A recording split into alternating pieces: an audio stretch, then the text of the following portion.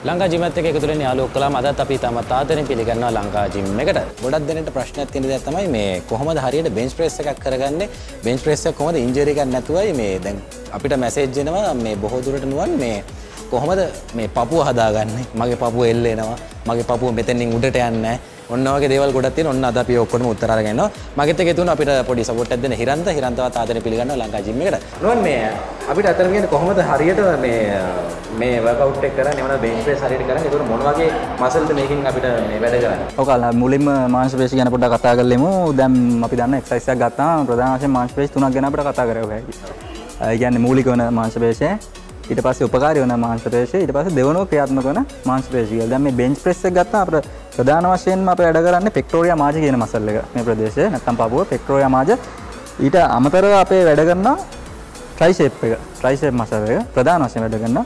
ඊට පස්සේ මේ ඩෙල්ටොයිඩ් එක ඇන්ටීරියර් ඇන්ටීරිය ප්‍රදේශ සෙකන්ඩරි මසල්ස් ගැන කියද්දී කොරක බාචලියස් කියන මාංශ පේශය සෙරට සැන්ටීරියස් සහ සබ්බිස් කැපියුලාරිස් කියන මාංශ පේශි තමයි ක්‍රියාත්මක වෙන්නේ ඊට අමතරව ඇන්ටගොනිස් නැත්තම් උපකා උපකාරී වන මාංශ පේශි ගැන කතා කරද්දී ලැටිසිමස් දෝසි බයිෂේප් සහ මේ ඩෙල්ටොයිඩ් එකේ පොස්ටීරිය පිටිපස් ප්‍රදේශය තමයි ක්‍රියාත්මක වෙන්නේ. අපි දැන් බලමු බෙන්ච් ප්‍රෙස් එක කරන්න කොහොමද කියලා.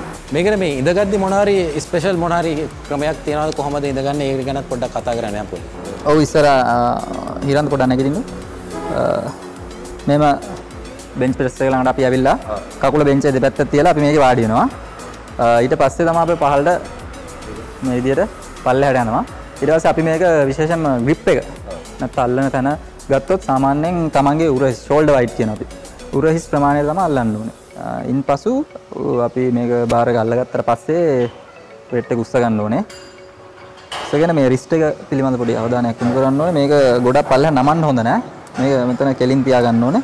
ඊට පස්සේ හිමීට මේ ආකාරයට තමන්ගේ පපුව ප්‍රදේශයට කියන්නේ මේ නිපල් එක ගන්නට අරගෙන ඒ රිද්මේටම ඉහළට තල්ලු කරන්න ඕනේ. මේකේ හුස්ම ගැනීම පිළිබඳ අවධානය යොමු කරන්න ඕනේ. ඒ වගේම එල්බෝ දෙක. වැලමිට අපි කියන්න මේ. ඉදිරියට පොඩි ආනතියක් තියාගන්න ඕනේ. ඒ අපේගේ එන ආබාධ වලින් වැළකීමට උපකාරී වෙනවා. ඒ වගේම කකු පාද ගැනත් අපි මේ පාද සමහර උස්සනවා. ඒක කරන්න ඕනේ පාද දෙක හොඳට පොළොවට තියන්න තියාගන්න ඕනේ. ඒ වගේ මේ උදර ප්‍රදේශයේ උස්සනවා සමහර